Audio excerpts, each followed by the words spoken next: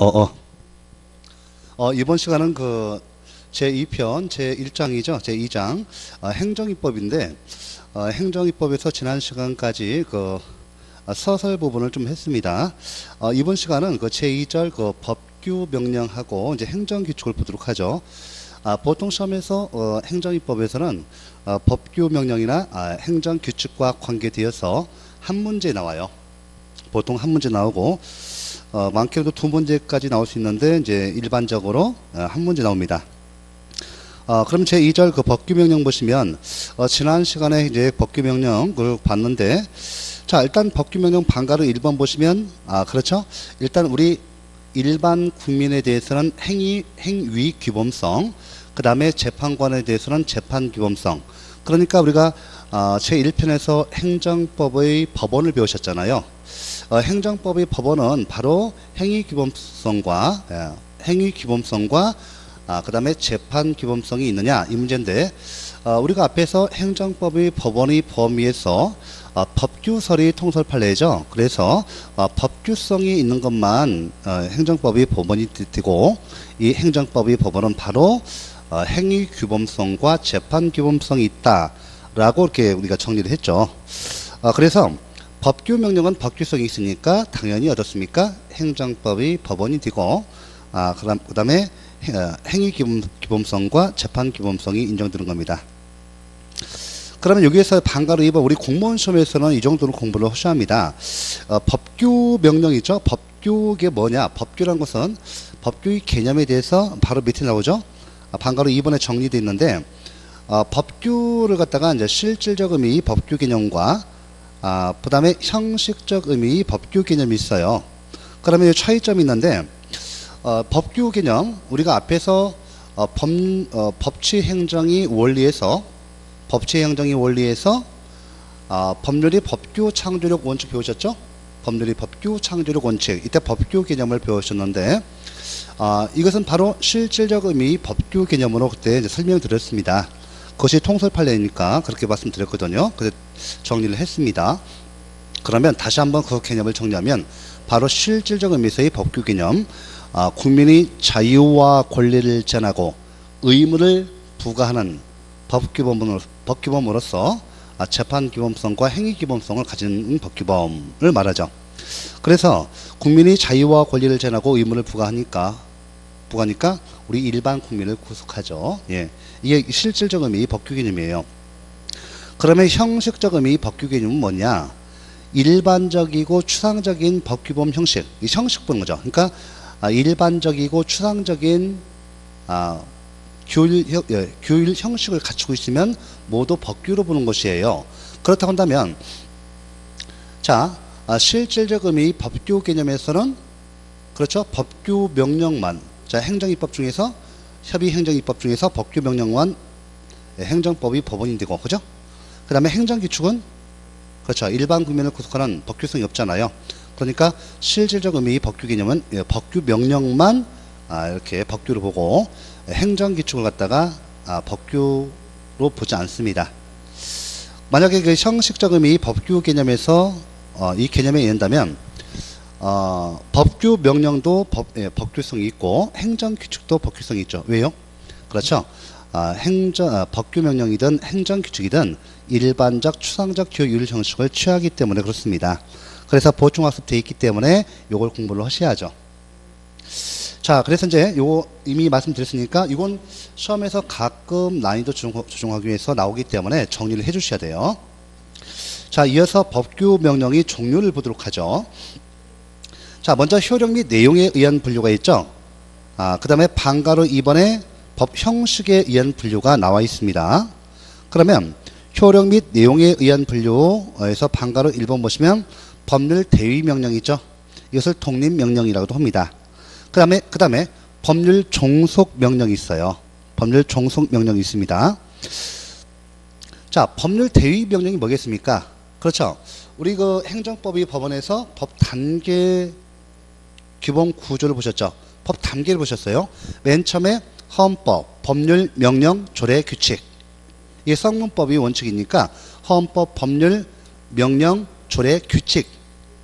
그렇죠? 예. 그러니까 우리가 이제 보시면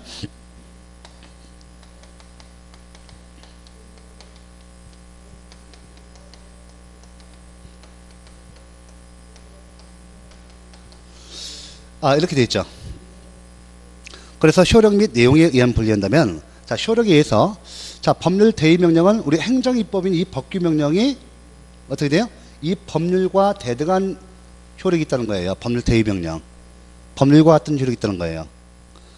자, 그렇죠? 여기는 대통령령, 아, 대통령이 긴급 명령, 아, 긴급 재정 경제 명령이 있습니다. 그 다음에 양거로 2번 법률 총속 명령이 있죠? 이 법률 총속 명령은 이 법률보다 하위의 효력을 갖는 것이죠. 자, 지금 현재 우리가 법규 명령을 보고 있어요. 그러니까 지금 어, 법률 종속 명령은 어, 우리 행정입법인 이 법규 명령이 법률보다 하위의 효력을 갖는다. 자, 이렇게 됐죠?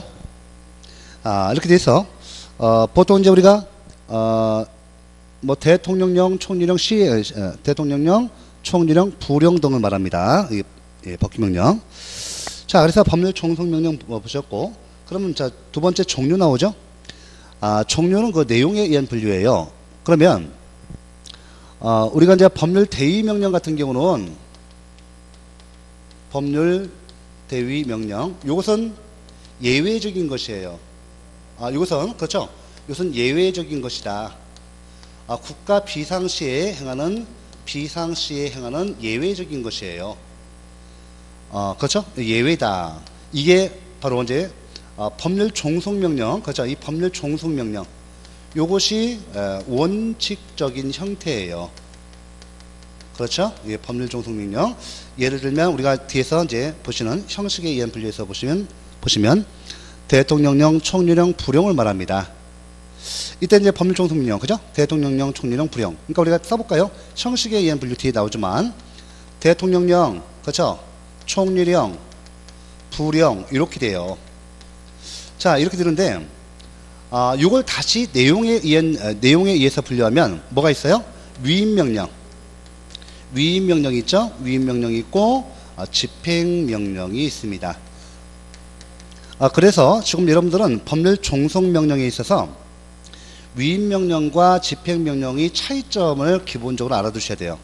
요 시험 나오고 또 위임 명령이 한 개, 집행 명령이 한 개가 아, 여기에서 논점이에요. 시험이 나올 수 있는 거. 그러면 여기 빠르게 보도록 하죠. 자, 위임 명령 의의를 봐보세요. A번 의 나오죠? 자, 상위 법령에 의해서 개별적, 구체적으로 위임된 사항에 관하여 발하는 명령. 그렇죠? 이와 같이 법률에서 이 법률에서 야 대통령 총리 각 부장관은 아, 개별적이고 구체적으로 정한 범위를 이 법률에서 위임을 해주면 위임받은 범위 내에서만 정할 수 있어요. 그래서 위임 명령이에요. 자, 그렇죠? 아, 그 다음에 비근거 보세요. 근거. 아, 당연히 법률이 근거가 있어야죠. 왜? 법률이 수권, 위임을 해줘야 하거든요. 그러니까 아, B번 법률이 근거가 있어야 한다. C 내용이죠. C 내용. 이 내용 보시면 법률이 개별적이고 구체적으로 범위를 정해서 이것은 대통령이 정하시오. 총리가 정, 정하시오. 각부 장관이 정하시오라고 이렇게 위임을 해주기 때문에 위임받은 법위 내에서 새로운 법규사항 시험에서는 새로운 법규사항 이렇게 나올 수도 있고 새로운 입법사항 새로운 입법사항 새로운 권리 의무사항 같은 말이에요 이렇게 어, 바꿔서 어, 시험에서 출제됩니다 가능하죠? 위임명령 자 그러면 어, 니은번에 집행명령 나오죠 이 집행명령은 이 집행명령은 어, 법규명령으로서 법규성이 있죠. 근데 우리가 어, 이 집행명령은 어, 이 법률이 수권 위임 없이도 정할 수가 있어요. 이 집행명령은 왜냐하면 우리 행정기관은 그 행정이 뭡니까? 법 집행기관이죠. 행정기관은 법 집행기관이에요. 행정 자체가 법 집행을 의미해요. 그러면 어, 보통 국회가 국회가 법률을 정하면서 국회가 법률을 정하면서 어떤 법규 사항에 대해서 법규 사항이죠. 어떤 권리 국민들이 권리 의무 사항을 정하면서 거기다가 그런 권리 의무 사항을 행정청이 적용 집행하는 이 시행 적용 집행하는 이 시행에 관한 절차 규정을 두는 것이 보통이에요. 법률에서 두는 것이 보통입니다. 그런데 간혹가다 법률에서 법규상 우리 국민들의 권리 의무 사항을 정하면서 우리 행정기관이 현장에서 적용 집행하는 시행에 관한 시행에 관한 세부적 절차 규정을 두지 않아서 우리 행정기관이 법을 이, 이 법률을 집행할 수 없는 경우가 있어요. 이런 경우에는 우리 행정기관은 원래 법 집행기관이어서 예, 집행, 그죠? 집행명령을 지정, 지정해서 이 법률을 시행할 수가 있습니다. 그러니까 이 집행명령은 법률이 근거 없이도 지정할 수 있고 다만 어, 구, 어, 법률에서 위임이 없기 때문에 어떤 법규상 새로운 법규상을 정하면 안 되고 다만 단지 단지 법률이 집행에 관한 세부적 절차만 정할 수 있다는 특징이 있어요. 아, 이거 참 잘 나오니까 정리를 하셔야죠. 어, 그래서 이거 집행명령에서 어, 의번 어, 니은번 아, 집행명령 A번 의 B번 근거 C 내용 이렇게 해서 좀 다 설명드렸습니다. 자 이어서 어, 반가로 2번 법 형식에 의한 분류 보세요. 양가로 1번 뭐 나오죠? 그렇죠. 헌법이 명시하고 있는 법규명령. 그러면 양가로 2번은 뭐가 나올까요? 헌법이 명시하지 아니한 법규명령. 자, 이것도 이제 그래서 우리가 헌법이 명시하고 있는 법규명령은 재정권자를 기준으로 해서 자, 대통령이 지정하면 대통령령 지정권자, 총리가 지정하면 총리령, 각부 장관, 그죠? 어, 정부지법에서 우리 각 부죠, 부까지만 해요. 부의 장관, 아시겠죠? 행정자치부 장관, 그죠? 교육부 장관, 어? 법무부 장관, 이렇게 장관, 부의 장관, 부의 장에게만, 요, 그죠? 대통령, 국무총리, 각 부의 장관에게 법규 명령 지정권을 주고 있습니다. 아, 됐죠, 이렇게? 자, 그래서 우리가 일반적으로 대통령이 지정하면 대통령령, 총리가 지정하면 총리령, 각부 장관이 지정하면 부령입니다. 아, 보통은 대통령령, 총리령, 부령 이렇게 우열 순서가 있는 것이죠. 아, 그 다음에 여기 이제 그 총리령, 부령 우열 관계에서 그쪽 나왔으니까 말씀드렸어요.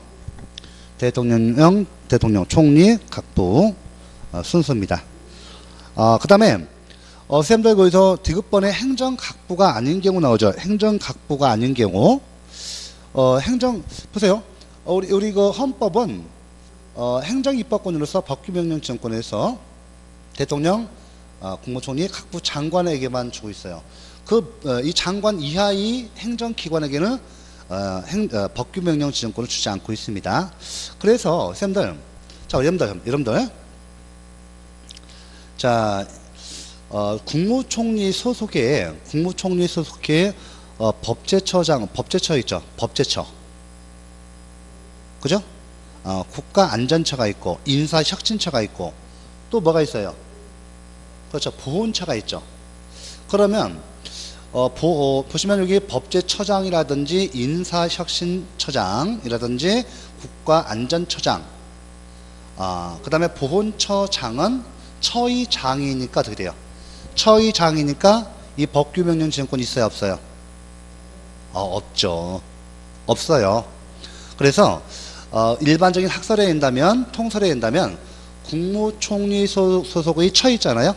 처의 장관이 어, 관계 그 어, 기관에서 어, 법규 명령을 지정하고자 한다면 뭐 보훈, 보훈에 관한 사항이라든지 법제에 관한 사항이라든지 또 교육에 어, 법제 그다음에 아, 인사에 관한 사항이라든지 아, 그다음에 국민 안전에 관한 이런 사항은 아, 총리령으로 발행한다고 보고 있어요. 아, 지금 제가 말씀드린 건 다 시험입니다. 어, 지금부터는 저 시험이 어렵잖아요. 총론 다 끝났기 때문에 이제 죽기만 하면 돼 이렇게 죽기만. 그러니까 지금 강의를 타이트하게 두세 번 반복해서 보시고 문제풀이까지 하시면 돼요. 자 이렇게 돼 있고 예, 그래서 지금 이제 됐고 그 다음에 어, 여러분들 그, 그 다음에 보시면 페이지 를 넘겨서 국가, 아, 그 다음에 중앙선거관리위원회 규칙이 있어요. 아, 한 가지 더 말씀드리면, 어, 지금 현재 그 행정입법을 배우시잖아요. 국가 중앙행정기관으로서 대통령, 국무총리, 각부 장관에게만 뭘 주고 있어요? 행정 입법권을 주고 있잖아요. 그러면, 어, 헌법상, 헌법상 독립국가기관으로서 국회 있죠. 국회. 그 다음 또 대법원, 헌법재판소, 중앙선거관리위원회 있죠. 그렇습니다. 만약에 대통령, 국무총리, 각부 장관이 어, 국회에 관한 사항, 그 다음에 대법원에 관한 사항, 사법부죠? 사법부인 대법원이라든지 헌법재판소, 또 선거 관리를 맡는 중앙선거관리에 관한 사항을 아, 법규명령으로 통제할 수 있다 한다면 상권 분립을 무너뜨리는 것이죠. 독재할 수가 있어요. 상권 분립을 예, 무너뜨립니다. 그렇기 때문에 어, 어, 지금 그 헌법 자체가 국회에게 국회 규칙 규칙 지정권, 대법원에게 대법원 대법원 규칙 지정권, 헌법재판소에게 헌법재판소 규칙 지정권, 그죠? 중앙선거관리위원회에 대해서 어, 규칙 지정권 주고 있어요. 이때 헌법상 독립국가기관에 대한 규칙 지정권은 모두 법규명령이에요. 아시겠죠? 어, 법규명령입니다. 꼭 아셔야 돼요. 예, 그래서 어, 국회라든지 어, 대법원, 헌법재판소, 중선위에 대해서는 각각의 그 고유 업무에 대해서 자기들이 법규명령을 제정할 수 있는 어, 규칙 지정권을 주고 있다. 이렇게 알아두셔야 돼요. 그래서 헌법 제, 헌법 제 107조 어, 2항이죠. 헌법 제 107조 2항에 위헌 위법 위헌 위법 명령 규칙 처분 심사권 있죠. 명령 규칙 처분 심사권을 법원에 주고 있죠. 명령 규칙 명령하면 이게 행정입법에서 이 법규 명령이고 어, 규칙할 때는 뭐 국회 규칙이라든지 그죠? 아, 대법원 규칙, 헌법 재판소 규칙, 중선위 규칙 등을 말해요. 이렇게 좀 알아두셔야 합니다. 자, 그래서 중선위 규칙 있고 지금 나머지 뭐 어, 대법원이라든지 헌법재판소는 생략했습니다. 자, 양가로 2번 헌법이 명시하지 아니한 법규명령에서 동남 1번 감사원 규칙과 동남 2번 법령 보충 규칙이 있어요. 자, 헌법이 명시하지 아니한 아, 법규명령인데 제가 아까 말씀드렸죠. 어, 헌법상 국가 중앙 행정기관으로서 대통령, 총리, 각부장관에게는 아, 행정 입법권을 주고 있는데, 그죠? 행정 입법권으로서 법규 변경 지역권을 주고 있어요. 이에 대해서 각 국가 기관, 헌법은 각각의 국가 기관의 상권 분립에 의해서 그 독립성을 어, 유지 보장해 주기 위해서 국회, 대법원, 헌법재판소, 중앙선거관리위원회 여기에게는 각각의 헌법 조문 자체를, 자체에서 규칙 지정권을 주고 있습니다. 근데 헌법상 독립국가 아, 독립기관인 국가기관인 자 감사원에는 감사원에는 아, 감사원 규칙 지정권이 규정되어 있지 않습니다. 규정되어 있지 않고 어디에 돼 있어요? 헌법에 없고 감사원법에 있어요. 감사원법에 있어서 감사원 규칙이 법규 어, 어, 법규 명령성에 대해서 다퉈주고 있는데 우리 행정법 학계에서는 통설이 어, 감사원 규칙은 헌법에 규정되어 있지 않은 것은 입법 오류다. 입법 오류다. 입법 과정에서 빠뜨렸다는 것이죠. 그래서 그 이것이 지금 감사원법에 있어요. 감사원 어, 규칙지정권은 감사원법에 있는데 우리 행정법 학회의 통설은 아, 비록 감사원 규칙이 감사원법에 규정되어 있지만 아, 법규 명령으로 보고 있습니다. 그 다음에 두 번째 법령 보충 규칙 있죠. 예, 법령 보충 규칙. 자, 요, 요것도 좀 잘 나와요. 요 뒤에서 또 행정규칙에서 공부를 하시는데, 어, 여러분들 꼭 아셔야 돼요. 우리 헌법은, 우리 헌법은, 어, 헌법은 있죠? 아, 이것을 원칙, 원칙으로 규정하고 있죠? 예외로 규정하고 있고요. 자, 헌법은 이 법규, 자, 법률 종속명령으로서 대통령령, 총리령, 부령을 규정하고 있죠. 행정입법권으로서.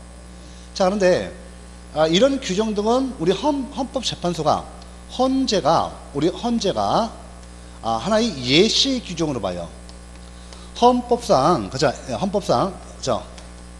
자, 헌법상 헌법상 행정 입법권 요것을 뭐로 본다고요? 예시 규정으로 봐요. 예시 규, 규정으로 보기 때문에 감사원 규칙도 감사원법에 있지만은 그죠? 헌법에 나와 있는 것은 하나의 예시 규정이다. 열거 규정이 아니라는 것이에요. 예시 규정이어서 어, 이것은 그렇죠. 그래서 감사원 규칙도 법규 명령이 되고 또 대통령령, 총리령, 부령 이외에 아, 뭐죠? 감사원 규칙 요것도 요것도 법규 명령이고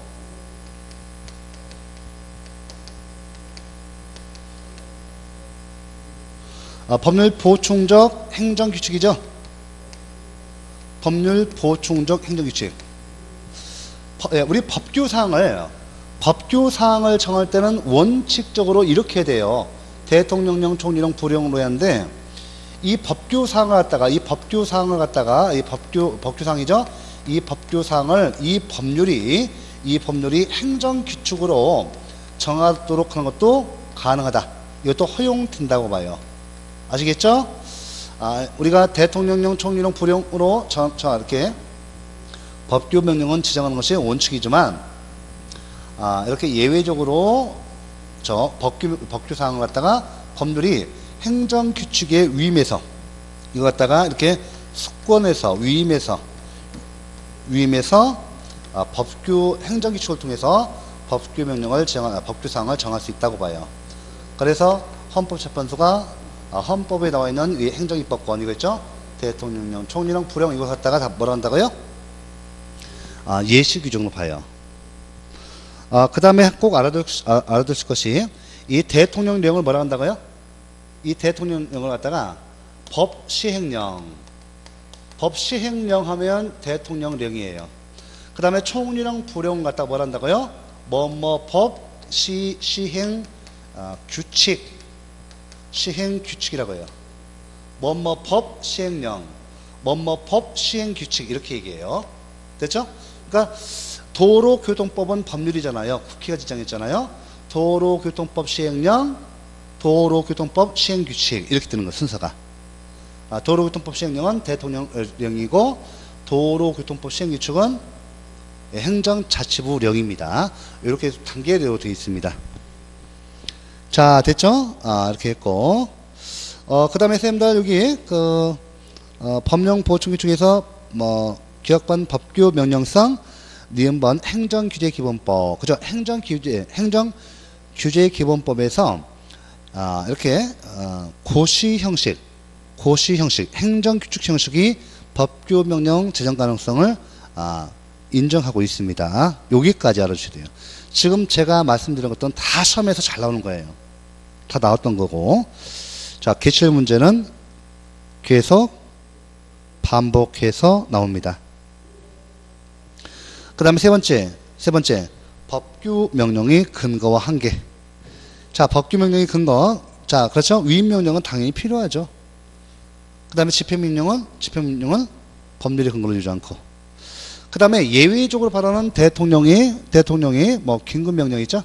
국가배상 시에는 대통령이 긴급명령이라든지 긴급 재정 경제 명령은 헌법에 다 근거가 있습니다. 아, 다 말씀드렸고요. 예. 자, 법규 명령이 한 개 반가로 2번, 위임 명령이 한 개죠. 자, 위임 명령의 한계는 뭐 반드시, 어, 여기 보시면, 그, 동그라미 1번, 위임 입법이 범인데, 요거 시험 잘 나와요. 기억법 봐보세요.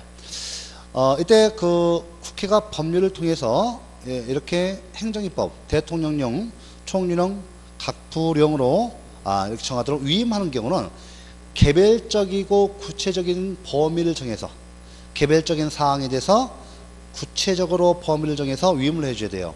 그래서 아, 1번의 기억번 아, 전면적, 포괄적, 일, 일반적 아, 백지식 위임은 인정 안 됩니다.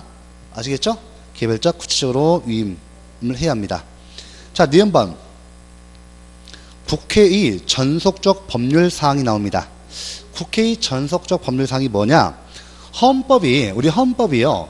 헌법이 어, 이때 국민의 기본권과 관련돼서 또 국가 국가와 어, 우리 국민의 기본권과 통치 주직에 있어서 어, 중요 사항에서 매우 중요, 중요한 사항에서 국회가 직접 법률로 정해 어, 정하도록 하는 사항을 국회 전속 사항 또는 국회 입법 사항이라고 해요.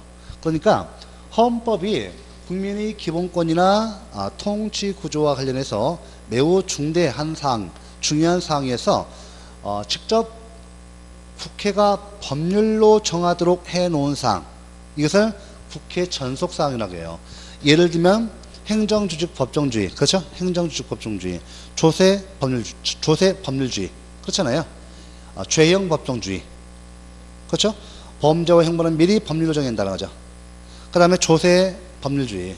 조세의 과세 요건이라든지, 그죠? 이런 것들은 전부 다 과세의 종료, 그죠? 이런 것들은 전부 다 미리 법률로 국회가 정해야 한다는 것이죠. 이런 것들이 그 국회 전속사항이에요.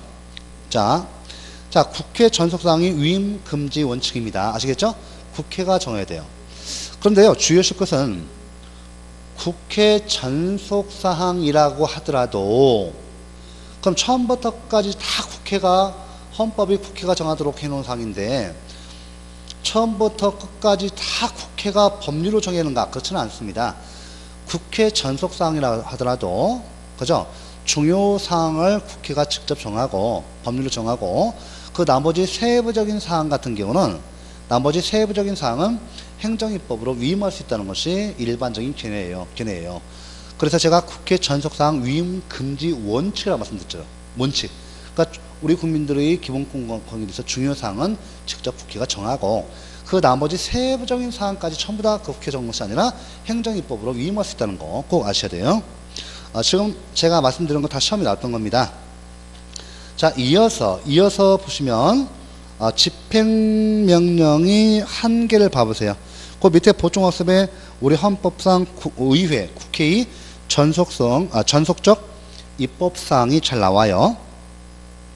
양가로 2번에 헌법이, 아, 그 다음에, 어, 이거 했네요. 어, 그 다음에 여러분들 그, 어, 보충학습 다음에 이제 관련 판례 나오죠. 그 다음 페이지. 아, 요거, 아, 한 가지 좀 알아두셔야 어, 돼요. 어, 지금 제가 그 우리 법규명령, 위임명령, 위임명령은 개별적이고 구체적인 위임만 허용돼요. 포괄적 위임만 돼요. 하지만 예외적으로 우리 예외적으로 조례 같은 경우죠. 조례 지방의회가 지정하는 조례 같은 경우는 포괄적 위임도 가능하다는 것이 통솔 판례입니다. 그래서 우리가 아, 여기 이제 세 번째 병의 복무기간 국회의 전속적 입법사항 나오죠. 이걸 봐두셔야 돼요. 아, 그 다음에 여러분들 보실 것이 뭐냐면 아, 집행명령이 한 게 당연히 법규상, 즉 국회 예, 법규, 법규상 국민의 권리 의무사항을 집행 명령으로 정할 수 없어요.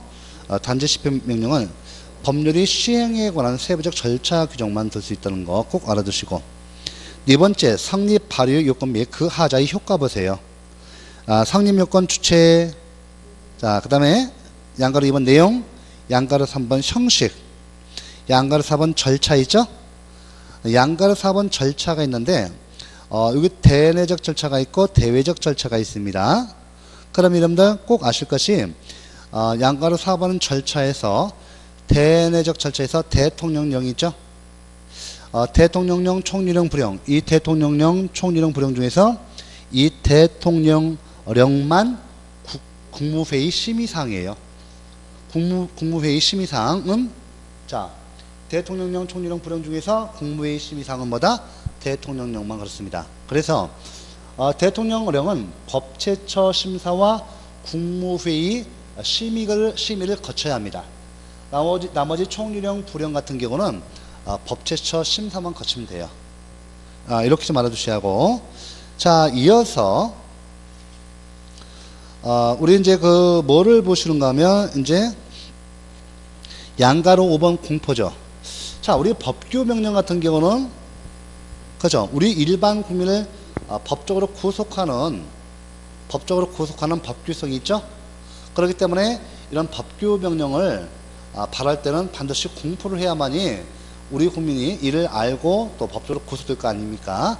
그래서 법규 명령은 반드시 공포를 공포 공포를 해야 하고 이 공포가 법규 명령이 효력 발생 요건입니다. 꼭 알아두셔야 돼요. 그 다음에 발효 요건 돼 있죠, 여기? 예, 발효 요건. 아, 발효 요건에서 선생님들, 여러분들, 양가로 2번과 양가로 3번 이렇게 나오네요. 아, 제가 이제 그 선생님 선생님 하는데, 제가 이렇게, 어, 이렇게 그, 어, 승진, 예, 좀 승진, 승진도 좀 강의를 하고, 어, 공무원 대상으로 이렇게 강의를 좀 많이 하다 보니까, 제가 자꾸 선생님, 여러분들, 학생 보고 선생님 선생님 하는데 괜찮습니다. 예. 예. 어, 하다 보니까 제가 이제 그 무식적으로 이렇게 돼가지고 우리 학생들 보고서 이제 이렇게 선생님 선생님 하네요. 어, 여러분 다 선생님이죠. 어, 다 인생이 다 선후배 관계니까 이해를 하시고. 자, 이어서 보시면 방가로 2번 발효 이권 나오잖아요. 아, 발효 이권에서 양가로 1번 어, 일반적으로 법규 명령 같은 경우는 어, 특, 어, 특별한 기준이 없으면 공포한 날로부터 20일이 경과함으로써 효력을 아, 발생시킵니다. 이에 대해서 양가로 3번 보시면 아, 국민이 권리 제한과 의무 부과에 직접 관련되는 법규 명령은 공포일로부터 비치 30일이 경과했을 때 그 효력을 아, 발생합니다. 아 그래서 여기 이거 좀 어, 양가로 2번하고 발효요건에서 아, 양가로 2번하고 3번은 보통 잘 나오거든요. 다 맞는 제문 잘 나오니까 아, 이렇게 좀 체크해 놓으시고 어, 그 다음에 방가로 3번 성립 발효 요건을 갖추지 못한 법규 명령이 효력이 나옵니다. 어, 일단 여러분들 그 어, 법규 명령이 성립 요건, 성립 요건이라든지 효력 요건에 하자가 있잖아요. 하자가 있으면 법규 명령은 무조건 무효가 되는 거예요. 아, 무조건 무효가 됩니다. 꼭 아셔야 돼요. 예. 그, 래서 반가로 3번, 양가로 3번 판례는 하자 있는 법규 명령의 효력을 무효로 보고 있다. 그죠? 자, 해놓으시고 반가로 4번 무효인 법규 명령에 따른 행정처분의 효력이죠. 자, 됐죠? 자, 그래서 여기 이제 양 뭐 무효인 법규 명령에 따른 행정처분 효용 효력. 자, 위, 법한 처분이 되죠. 어, 그다음에 여기 양가로 2번에 좀 봐보세요. 사, 반가로 4번에 무효인 법규 명령에 따른 행정처분이 효력이죠. 어, 양가로 2번 보시면 어, 그 위, 위법성 정도. 자, 무효인 법규 명령에 근거해서 행정처분 행정행위를 했다. 이렇게 되면 행정행위는 위법이 돼요. 근데 그 위, 위법이 정도가 무효인지 취소인지에 대해서 보도록 하죠. 아, 이거 좀 잘 나와요. 자, 통설 판례인 중대 명백사를 따라서 당의 행정행위 위법은 중대지만 법령이 무효한 사유는 헌법재판소나 법원의 판결이 있기 전까지는 명백한 것이 아니므로 취소 사유에 해당한다는 것이 일반적 견해다. 그래서 요 뒤에 또 다시 한번 나오니까 예. 이게 무슨 말인가 하면 반가로 4번에 2번 요거 잘 나오거든요. 어, 잘 나오기 때문에 요거 한 가지 설명 드릴게요.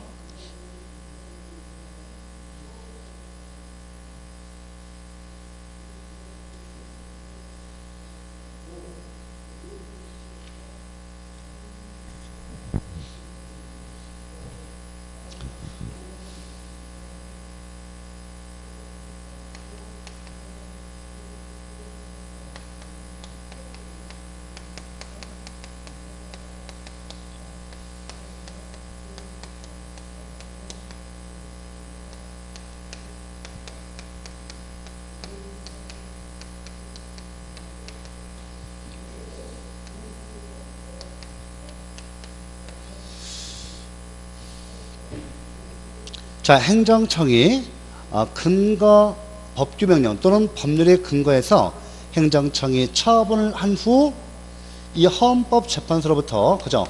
헌법재판소로부터 헌재로부터 법률 또는 법규명령이 위헌 위헌 결정을 받은 경우 위헌 결정을 받은 경우 이것은 어떻게 돼요? 이것은 자 위헌 결정 받으면 이것에 의해서 이것은 무효화, 무효화가 됩니다. 맞죠? 결국은 자 행정청이 근거 법령, 법령의 근거에서 처분을 한 후 헌법재판소로부터 이 처분의 근거법이 아, 이렇게 위헌 결정을 받아서 무효화되면 이 처분 행정행위는 위법이 되겠죠. 위법한 처분이 돼요. 위법한 처분이 되는데 이것은 자, 위법의 정도가 뭐냐? 위법의 정도가 뭐냐? 자, 쓰겠습니다. 원칙적으로 판례가 취소라고 보고 있어요. 예외적으로 예외적으로 무효다. 그러니까 여러분들은 어떻게 답해야 돼요? 요걸 답해야죠. 요걸 답해야 돼요. 이게 답이에요. 어, 왜 그런가 하면 행정청은요. 행정청은 이 처분 행정행위 근거법규가 아, 중, 그죠? 자, 자, 자 보세요. 일단은 행정청이 이 처분했는데 이 근거법규 법규 가 헌법재판소로부터 위헌 결정을 받았다고 한다면 이 처분은 위법한 처분이고 위법한 처분이고 자 이것은 위법한 하자고 중대한 하자가 있는 거예요. 뒤에 또 합니다. 중대한 하자가 있는 거예요.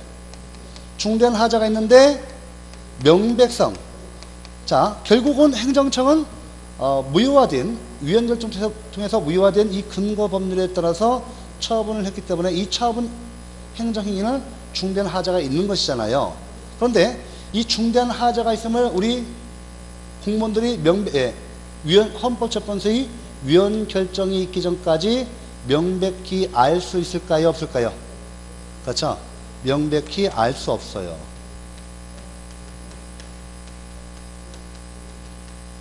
그죠? 명백히 알 수가 없어서 중대 명백서에 따라서 취소가 되는 거예요. 취소가 됩니다. 뒤에 또 나와요. 여기까지. 그러면 자 여기까지는 왔죠. 그래서 반가루 4, 야, 어, 반가루 4번에 양가루 2번은 요걸 설명드린 겁니다. 판례도 같은 입장이다. 돼 있죠? 자, 법규 명령이 소멸 나오죠? 자, 의 봐보세요. 자, 일반 법률과 마찬가지로 폐지되거나 실효됨으로써 장래 향하여 효력을 상실하는 겁니다. 자, 폐지는 행정청이 의사 표시에 한 거예요. 자, 폐지, 양가로 1번 직접적 폐지, 즉 명시적 의사 표시에 의해서 폐지되는 것이고요. 간접적 폐지는 묵시적 의사 표시에 의해서 아, 폐지되는 겁니다. 그러니까 가자 잘 읽어보시고 이건 다 쉬우니까요. 실효, 부관의 성취. 자, 그 다음에 반가로 2번, 양가로 2번 근거 법령이 소멸. 위임명령 같은 경우는 근거 법령이 효력이 소멸되면 당의 위임명령도 당연히 소멸됩니다. 집행명령은 별표 3개입니다. 이거 시험 가끔 잘 나와요. 집행명령은 상위 법령이 폐지되면 실효되는 것이나 상, 아, 폐지되면 다시 한번 주, 중요합니다. 집행명령은 상위 법령이 폐지되면 실효되는 것이나 상위 법령이 개정됨에 그친 경우에는 개정법령의 시행을 위한 새로운 집행명령이 제정 발효될 때까지는 그 효력을 유지한다. 중요하죠. 네, 중요합니다. 어, 일단은 어, 지금 어, 아, 법규명령은 좀 내용이 더 많으니까 법규명령하고 어, 행정기축은 다음 시간에 이어서 한, 어, 한 시간 정도 더 하면 다 끝날 것 같습니다. 자, 이번 시간 끝나고, 예, 끝내고 10분 쉬었다 하겠습니다.